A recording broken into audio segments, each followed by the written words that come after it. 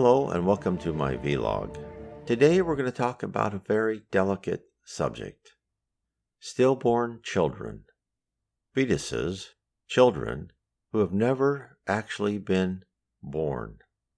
Spiritism has told us that these children are not lost or forgotten. Many are raised in the spirit realm. Let's explore this subject further. All life is sacred and precious to the spirit world. Spiritism tells us that upon conception, the merger of spirit to flesh occurs. A distinct spirit gestates in the mother's womb. While some pregnancies are terminated naturally or unnaturally, the question answered by the Spirit Arnel to the Reverend G. Vale Owen is what happens to babies who have never taken a breath of fresh air. Arnel tells us about the children who are raised in the spirit world. In addition, Spiritist literature relates there are different paths that could be taken when a pregnancy is aborted. Some spirits are taken from the fetus and put back into the original spirit body. They may have been originally assigned to a particular mother, and if an abortion occurs, they may wait until the next opportunity. This may be the case where the spirit waiting to be born has a connection with the mother that needs to be played out in a mother to child relationship. Damaged perispirit. Nevertheless, the majority of babies that die either soon after birth or are stillborn do so for a reason. The purpose lies in the relationship of the spirit and the perispirit, and the perispirit to the body. The perispirit connects the body to the spirit. The perispirit can influence the body as it is forming and even during life. When a person harms their own body through a drastic event, such as a suicide, they not only harm the physical vessel, but the perispirit too. If a person threw themselves in front of a train, or causes a similar devastation of a corporeal body, the injuries to the perispirit, which is influenced by the form of the body, is immense only a reset of the perispirit to a normal human form can ensure a safe birth. In the book Memoirs of a Suicide, an instructor tells a group of spirits how a person who had severe injuries must go through certain steps in order to attain a successful birth and incarnation. Unfortunately, they will reincarnate just as they are. Nothing can be done for them except return them to the flesh that is the therapy imposed on them to correct the overall imbalance of their vibrations, thus creating a sort of trial run for new attempts at growth in the future. This therapy, made easier to bear by the prayers that are ministered to them daily in sympathetic, gentle, and beneficial currents emitted from here on their behalf, is all that these poor brothers and sisters can receive for their time being despite our great desire to see them serene and happy. Trial run means a union of the spirit to the body via the perispirit. This may mean a stillbirth or just a brief time alive outside the mother's womb. This short episode is enough to reform the perispirit to the intended structure of a human body. It is as if a cast was made for a statue that was imperfect. The metal was poured into the broken mold. Then, when the mold was removed, the statue was flawed. The mold would be replaced by the corrected version, and the metal would be remelted and repoured into the mold, thereby creating a perfect statue. The perispirit must be perfect to create a healthy human. Hence, some type of birth event must be used to repair the extensive damage. The problems of a stillborn. We speak of childbirth into these realms of those who come forth from the earth sphere, but have not been endowed with a separate individuality therein. These children come here asleep, and you will realize that their first awakening is that process here which answers to birth on earth. They have never breathed the atmosphere, nor seen the light, nor heard any of the sounds of earth. In brief, none of their bodily senses have been exercised in the way for which they were prepared by their natural formation. The organs of the senses are, therefore, nearly, but not quite, perfect in their structure. Moreover, the brain has never been called upon to interpret their messages. and so the child of earth lacks earthly qualities empirically, while they have them potentially. These conditions do not apply to a child who has been actually born into earth life, even though he may have but a few moments or even less of life before he passes on hitherward. Arnel tells us why the spirit world must take special care of a stillborn, but he leaves unanswered as to why does the spirit realm spend so much time and effort in raising a spirit from before their natural term in the womb all the way to spirit adulthood. Wouldn't it be better just to let the spirit return to their damaged form and wait for the next opportunity? I have not yet seen the answer to this question in any spiritualist literature I have read to date. But I have a theory. I believe that in the infinite wisdom and love that the spirit realm has for us, that for spirits who have suffered so much in life and came to an ignoble end, most probably after repeated lifetimes of failures, that these spirits are given a radical reset, a chance to completely retool their character. They are re raised in the spirit realm, surrounded by love to give them a chance to return to a normal path of ascendancy in their spirit quest to become a pure spirit. Without this boost, this major operation on their character and personality, outright failure could persist for eons, which would be a tragedy for the aspiring spirit and for many loving spirits who have tried to assist. The nurturing process.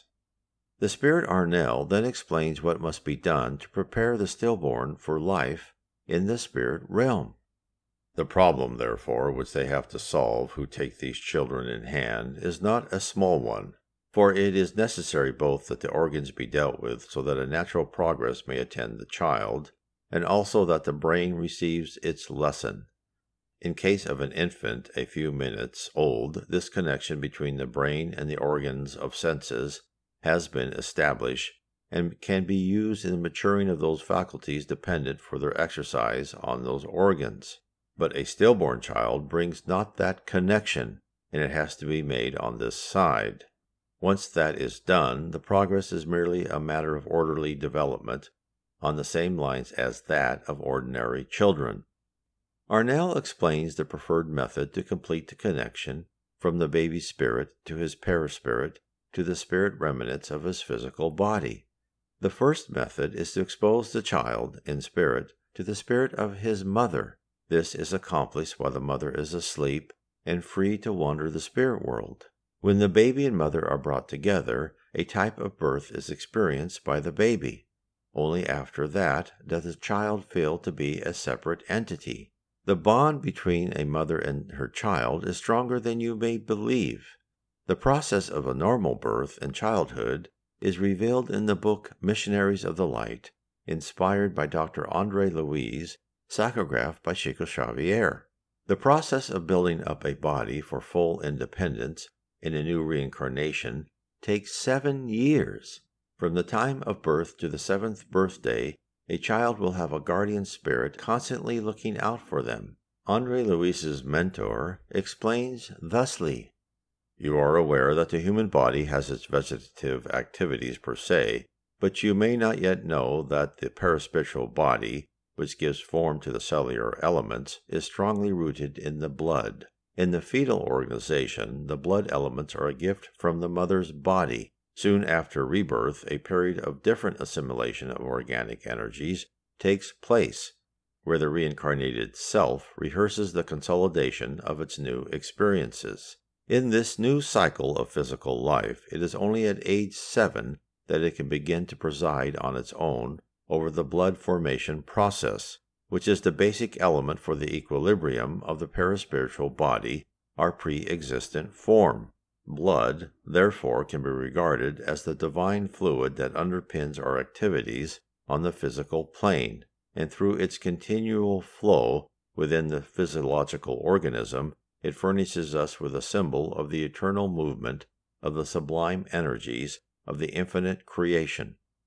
Hence, a child's body is still forming to its spiritual outline until around seven years of age. Mothers out there reading this, the cutting of the umbilical cord is just a symbol. Your vital energies, love of course is always there, still assist your child years after their birth. Imagine the care for a child jettisoned from their mother prematurely. The mother spirit is still tied to that child, visiting their loved one at night and giving love and comfort so the child may restart building their personality in the spirit world. Throughout the childhood of the stillborn, they are, if possible, kept in contact with their physical mother thus supplying them an anchor of love from the earthly sphere. Arnel tells us there are differences between children who never reach the earth alive. There is always some little difference between such children and those others who have been born on earth. They are lacking in some of the sterner virtues, and on the other hand, they are more spiritual in their personality and outlook. But as the earth born children progress in spiritual development, and the stillborn children develop their knowledge of earth by contact with their mothers and later with their other relatives, so the differences is minimized until they are able to associate on quasi equal terms of loving friendship and to help in the mutual giving of what each lacks. So the earthborn are mellowed in sweetness, and the others are strengthened in character, and, both being included in a community, infuse an element of variety which is pleasurable as it is of profit. Arnel states that the association with the parents of the spirit child is vital for the child's development. All of this goes on in the midst of dreams for the parents. Unknowingly, the mother and father are responsible for raising a young spirit, and all they have are fleeting remnants of dreams. Tragically, if the parents are of a wicked disposition, the child must be separated from the mother and father until the child is mature enough to understand the circumstances. Often the child will assist the parents from the spirit world to follow the path of the light. Motherhood and fatherhood starts before the birth of a child. It begins at the conception of the child. Life is precious and it serves a purpose. We, our children, seen and unseen, are on this planet and in the surrounding spheres so we may learn to become mature and civilized spirits, so we may become a productive member of the spirit realm and contribute the force of our will to the creation of worlds and life to promote even more spirits. If you are interested more in how the spirit world guides us, please read my book, How We Are Guided by Spirits, Book 3 of Spiritism. Book 3 illustrates the ground game of the spirit world via the messages of multiple spirits to the Reverend G. Vale Owen. We are presented examples of how the spirit realm above us peers down upon their unruly students. The process of tracking and modifying behavior on an individual and a collective basis is revealed. Even the broader direction of human society in the future is posted for all to see. God bless.